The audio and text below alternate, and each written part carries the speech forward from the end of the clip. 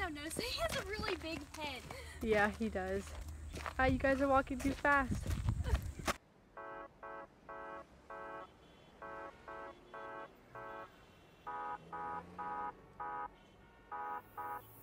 Here we go again. Classic independent woman. Talking to a man.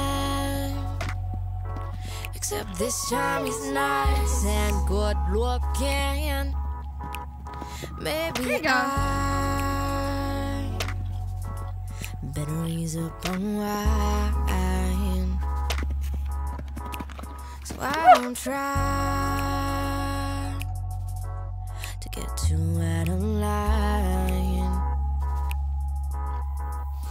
Taking me places I have not been glowing while he's talking. No one's made me feel so sure.